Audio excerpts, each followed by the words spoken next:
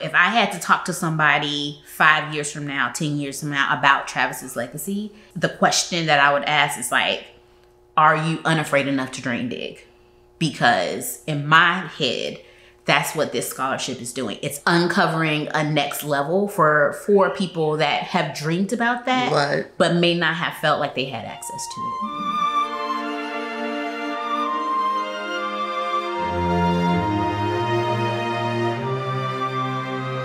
Well, the mission of the fund is, is very near and dear to my heart, and my hope is that it will enable students who have talent and drive and desire and ability to benefit from the possibilities that are here, to follow their dreams, and to move to a level that they might not otherwise be able to do, uh, just because of the cost of, of a quality education like the Frost School provides.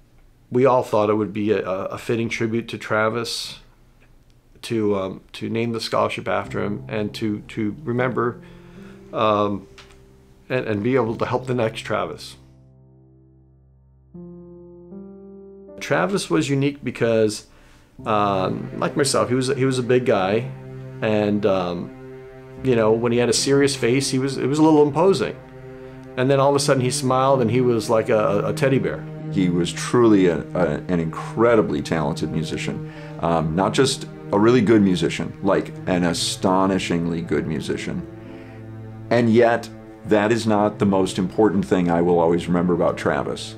Travis had the biggest heart, he was kind, he was so passionate about people, he was passionate about the you. music was his life and working with the younger students high school students uh, that's all he would talk about you could tell just looking at travis play and teach you could tell the love that he had for the music For someone that doesn't have, or that didn't have an official degree in music education, his pedagogical skills were so much more well skilled. He just had such a incredible balance of um, maintaining incredibly high expectations for kids and not letting anything slide, while also being incredibly compassionate and understanding of them.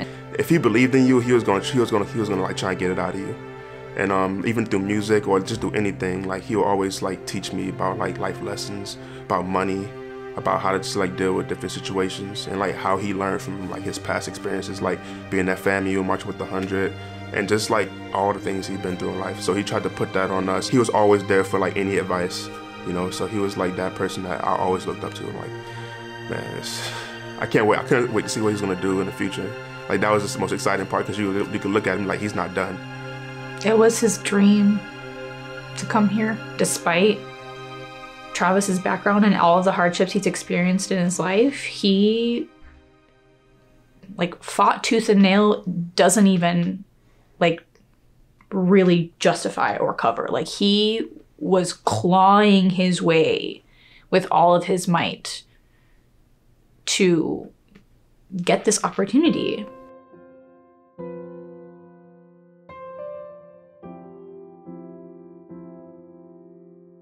University of Miami, for example, is not a, an inexpensive school, and it's not an easy school to get into. Uh, but University of Miami, you have people that that their parents can cut a check with no problem. Travis worked hard for everything he did, for every class he took, for everything he was part of, and um, I really respected that. to give back is is important to encourage those who have dreams and hopes and are trying to rise to another level and and, better themselves and the world is a great honor and a privilege. I feel like if we give kids opportunity and avenues and not have them just thinking, okay, I only have this option. If you give them a variety of options, I think we'll be better off as a, as a world, in my opinion. And I feel like we'll be better off as um, a performing arts in Miami.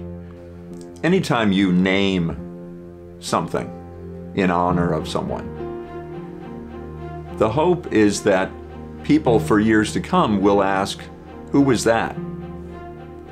So this scholarship is, is, is perfect because it really does represent exactly Travis's journey. Uh, he did have uh, a challenging road, and he was just about to join us here at the University of Miami full time um, when unfortunately he his life was cut short. This scholarship going to someone and for the time that I'll be here, I hope to see that I can see within whomever is awarded the scholarship that I can see Travis in the work of that individual. He knew how proud I am with him, and I'm so proud of y'all doing it for him. I'm proud enough to say, like, this is going beyond what he probably even imagined. Imagine, yeah.